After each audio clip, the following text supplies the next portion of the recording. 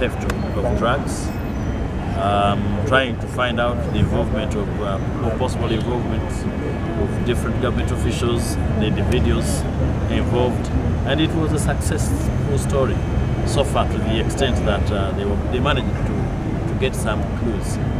However, along the way, I think government came to know and picked interest. I, uh, I do not want to agree with those that are suggesting a cover-up on the part of the, of the security forces, but I cannot rule it out either.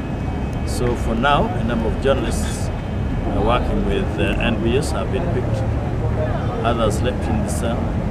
Uh, Solomon Serwanja's wife was arrested this morning. They surrounded the house in the night. They broke into, her, into his house, arrested his wife.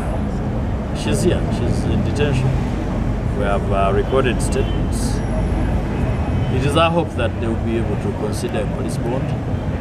But if not, charge them. Okay, we're happy to have them charged if that's what they are, they are opting for, other than incarcerating them. Nobody Nobody's committal as we speak, because it seems to all they are telling us it's an inter-agency operation.